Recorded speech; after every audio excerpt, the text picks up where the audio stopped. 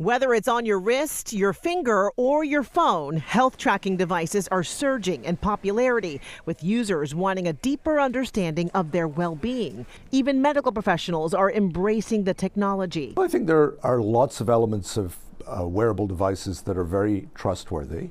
I think the key thing is recognizing uh, how and when to use the information.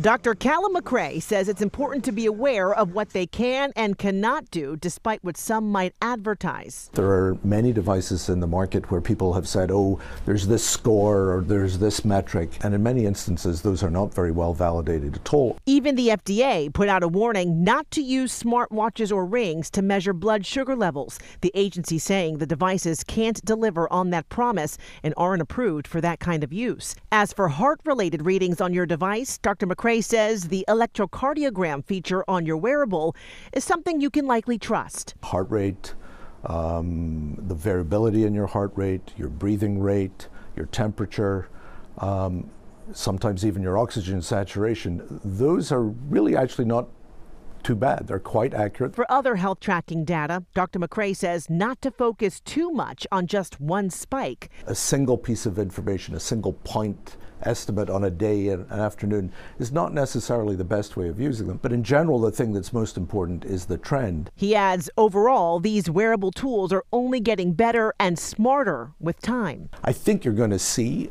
the quality of sensors and the rigor with which they're used progressively improve. He's hoping the next step is a better connection between your device and your doctor. The best use of them is uh, as an adjunct to working with your clinician. Yeah, you know, as for who benefits most from these devices, experts say, of course, it could be a great tool for seniors or individuals with health concerns, athletes if you want to monitor their fitness goals, or just anyone who's data driven. And a recent study found those wearing a fitness tracker moved an extra 50 minutes per week.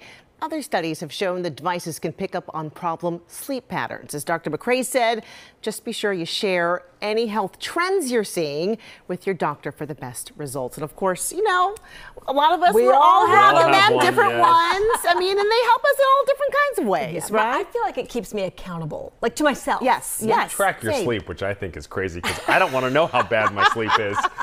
when you see that it's bad, you're like, oh, maybe I do feel tired. Right, it's yeah. good. It keeps you in check. It does, it does, it does. Thank you.